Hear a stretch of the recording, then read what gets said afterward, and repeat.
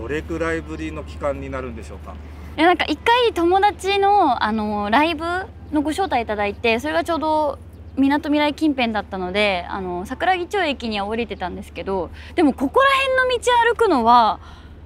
え？もう何年ぶりだろうっていうぐらいぶりですね。かなり久々の期間です。二度とあの悲劇を起こさせはしないまさか魔法の逆算？二度とあの剣は使いません。さっきからキョロキョロして何なの？ロマンティカ私の実力を見せてあげるわ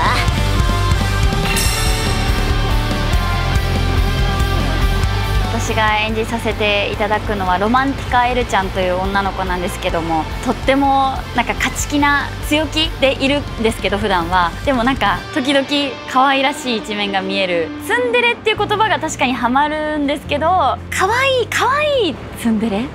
というかなんかそういうちょっとなんかついつい構ってあげたくなっちゃうような女の子だなと思います。今までの自分のなんか積み重ねてきたものを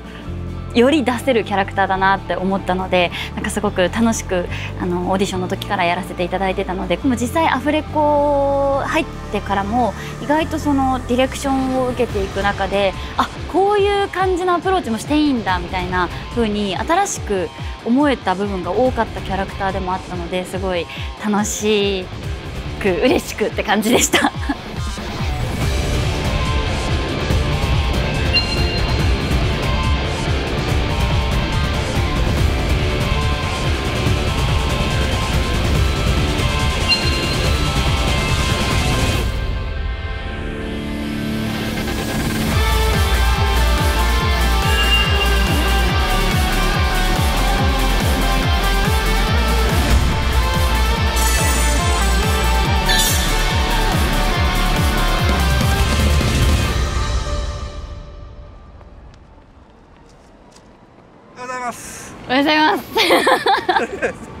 いい天気ですね。いい天気めちゃくちゃ暑いいい天気になりました。やった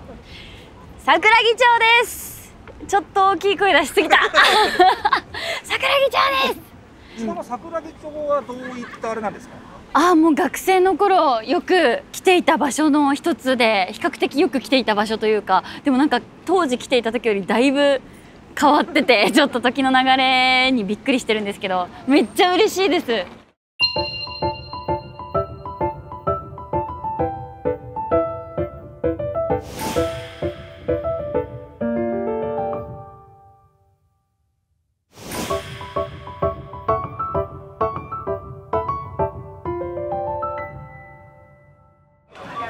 ちなみにこのロープウェイのご利用っていうのは？初めてですね。なんか存在自体はなんかちょうど出来たての頃にニュースみたいなので見たりとか地元の子から聞いてたんですけど乗るのは初めてですね。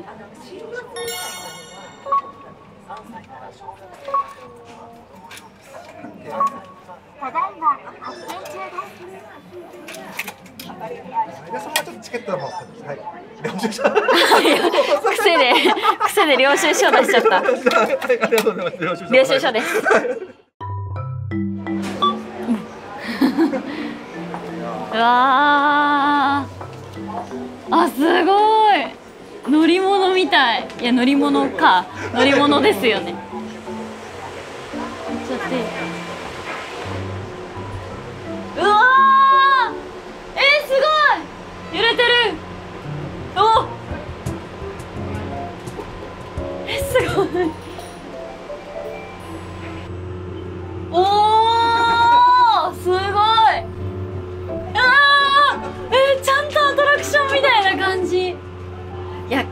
構高いんですよね。すごい。うわ高い。いやすごいな。あ今頂上じゃないですか？頂上ロープロープロープウェイの頂上みたいな。一番確かに高いところ。ねすごい。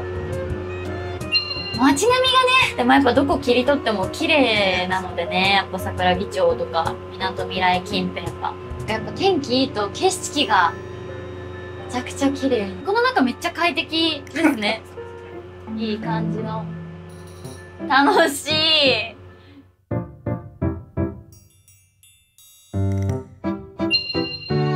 学生の頃とかは結構遊びに来てました。なんかこうほんとここら辺の赤レンガの近くに住んでる友達がいて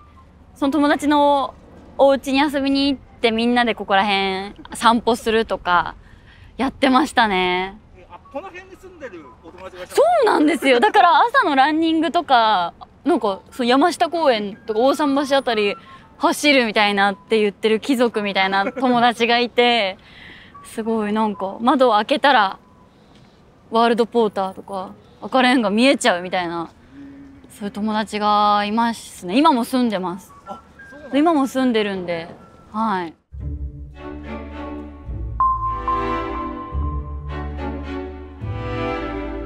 活発な女の子で寒い日に外出て水遊びとかしちゃうようなぐらい結構活発な子だったなって思います結構習い事とかもたくさんやらせしてもらってて水泳とか体操とか新体操とかなんかそういうのとか結構体を動かすのが好きだったなって思いますね。結構お父さんがあのもともとちょっと野球やってたのでなんかお父さんと一緒に公園でキャッチボールしたりとか なんか本当結構家族的にもどっか出る出かけに行くことも多かったので割と活発な子でしたね。あ見てましたなんか本当にまあみんなが通ってくるようなアニメからでも中学ぐらいの時になんかたまたま深夜帯のアニメに触れるきっかけがあってそこであこの時間帯にもアニメってやってるんだみたいな。なんか今までってそのやっぱ夕方帯にしかアニメってやってないものだと思ってたのであこんな夜遅い時間にも放送っ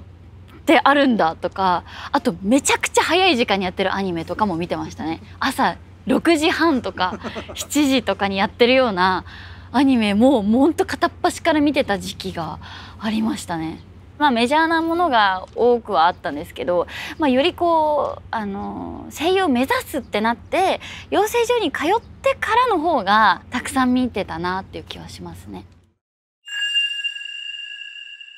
小学校の卒業式の時に当時担任だった先生とあの卒業式終わりにこうみんなで将来何になるっていう話をしてた時になんかその当時担任だった先生が「催眠は声が通る方だから声優とかいいんじゃない?」って言ってくれたのがきっかけで声優っていう職業をまずそこで知って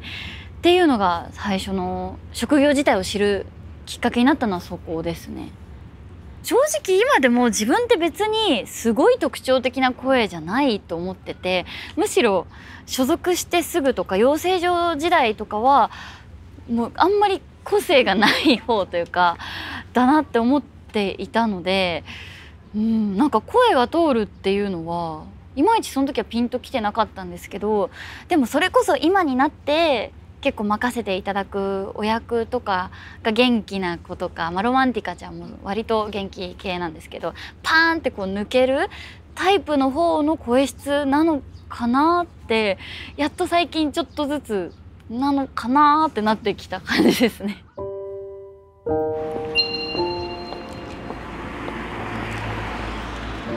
はいワールドポーターズ。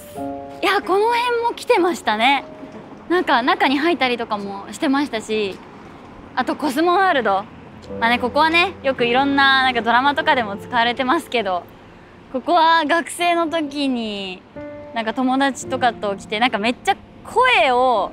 声量測定器みたいなのがついてるジェットコースターがあって今もちょっとあるか分かんないんですけど降りる瞬間の「うわー!」の声どっちが出てたかみたいな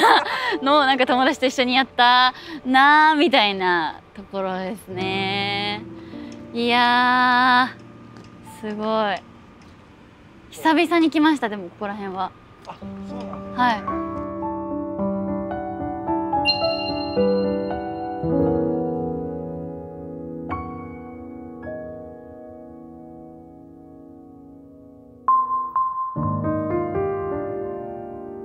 中学生も基本はあんま小学校の時と似たような感じではあったんですけどまあ部活ガールって感じでしたね 中学の時はバドミントンをやってて塾に通いながら部活をやってみたいなもう本当普通の女子中学生でしたね。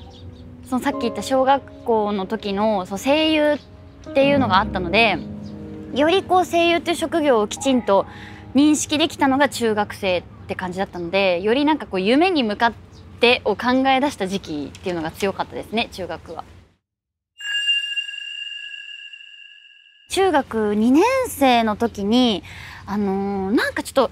どういうタイミングだったかは覚えてないんですけどなんかラジオを聞いたタイミングがあってそのラジオが声優さんのラジオで知らないで聞いててあ声優さんってラジオもやるんだと思ってなんか結構いろんなことに興味がある子供だったのでなんか声優さんって本当ラジオだったりとか喋ったりもするしあとそのアニメならではのこう世界に一番近いところってやっぱ声優さんなのかなっていうのがあったのでそういうのになってみたいなっていうのがあって表にめちゃくちゃ出たいってわけじゃなかったんですけどなんかお芝居ってものにちょっと興味があってそれこそ幼い時に見ていたアニメで魔法使いになりたいみたいな風に本気で思ってた時とかがあって 本当に魔法使いには現実ではなれないけれどアニメの世界だったらなれるみたいなのとかそういうので一番近いところはやっぱ声優さんなのかなと思ってよりなりたいなってそこでちゃんと思ったなって感じですね。とにかく養成所とか専門学校とかをまず調べてでもやっぱ当時学生だったのもありましたしなんか知らないんですけどこう夢自分の夢はこう自分で叶えたいっていうところでなんか自分でお金を出せるところじゃないですけど になんか現実的に本当に行けそうなところってどこだろうでなんかすごい探した感じがありますね。